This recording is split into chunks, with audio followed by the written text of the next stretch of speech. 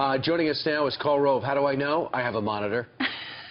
and there's Karl live in Austin, Texas. Mr. Rove, good morning to you. Good morning. Thank God Brian has uh, audiovisual aids. Yeah. we just we just talked 30 seconds ago, but he'd forgotten in the in the, in the meantime. I know you've got one as well. You got your whiteboard. We're going to get to it in a moment. But first up, how impactful was Mr. Comey's Friday October surprise talking about how there's trouble in Clintonville. Yeah. Well, we, we don't really know just yet. It's it was impactful, but how impactful, I don't know. I, we, we look, we were already closing. We were seeing the race close before Friday. T take a look at the Real Clear Politics average starting last Thursday. Mm -hmm. 5.6 lead for Hillary, Friday, the, the news breaks, but it's 4.6. By Saturday, it's still 4.6.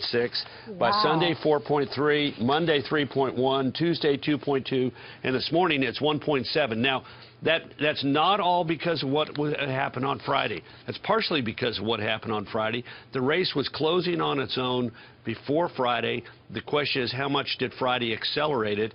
Uh, and, and, we don't exactly know yet. Uh, my sense is, look, polling on the weekends is difficult. Yeah. Polling on a weekend with a holiday is sort of goofy. So I think we ought to wait until Thursday or Friday when we start getting polls that have conducted after the Friday event but also after uh, right. the Halloween so, Paul, weekend. Uh, so, uh, Karl, would you do me a favor and rank the most important things towards this trend? What do you think is the key to this closing? Is it Trump's performance, Hillary's lack of performance? Obamacare. Is, is it Obamacare? What, where, where do you yeah. rank the in importance?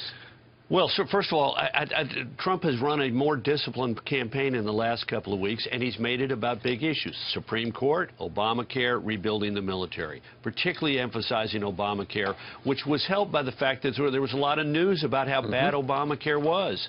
Uh, and also people had baked in, you know, sort of what they'd heard from Bill Clinton about how crazy the system was and how Hillary had defended it. So I think that was a, the, the quality of his campaign being more focused, more disciplined, uh, is, has been helping. Second of all, look, there's a natural tendency as you get to the end for partisans to return home. And a lot more partisan Republicans were out there sort of thinking about what to do mm -hmm. uh, than partisan Democrats. And then finally, look, you, you just saw it. I mean, that, that, that, that, that video of her, that's her. And that is not an appealing you know, uplifting, positive. She looks angry. She looks upset. She she comes across as hectoring. That's not a good. That's not a good picture as you to, to paint as you come down the final stretch. Mm -hmm. Karl, if nothing else happens, if there aren't any more bombshells in these last six days, yeah, who right. wins? Well, first of all, let's remember a couple things. First, the, the Real Clear Politics average probably overstates where the race is today. That is to say, it overstates Trump's support. At this point in 2012, it had Mitt Romney ahead by 0.8, eight tenths of a percent, well, nearly a point. Uh, and and this the, this track is probably a little bit more robust for for uh, Trump than it than it should be because it's got a couple of these polls that I'm frankly dubious of, like the uh, USC uh, tracking poll. But it, the race is moving in his direction, and the question is how how rapidly is it going sure. to continue? How much more is it going to close? How rapidly is it going to? And then what's going to happen on each side's ground game. Because remember, uh, just as Obama went into 2012 down in the Real Clear Politics average, he ended up 3.9 points ahead because yeah. he had a superior ground game. But look, let's let's let's let's focus on where he needs to spend his time between now and, and election day. Okay. Uh, uh, Back he's got to win. Back to the board. New board. Florida, Iowa, and Ohio. He's ahead in, in mine, in, in the real clear politics average in all those states. He's got to take every one of them.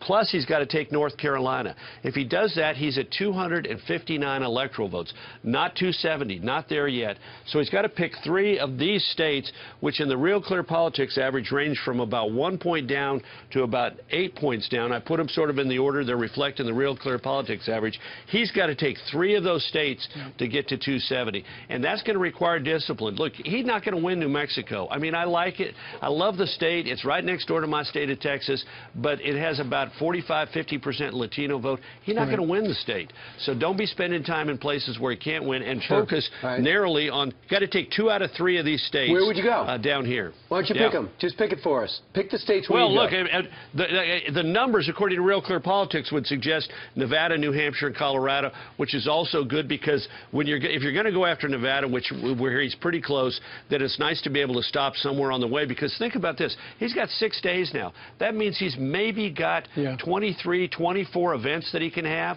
That's the 25, 26 events. That's not a lot of places and not a lot of time, which is why he's got to be really dis- disciplined about it. She's got the same constraint.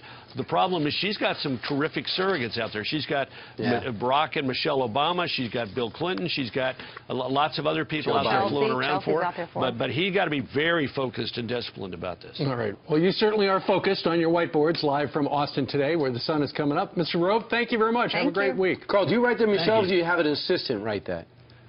don't you recognize my beautiful handwriting? It's We do. highly legible, don't you think? We do, and so does the crime lab. All right, uh, Karl, thank you very much.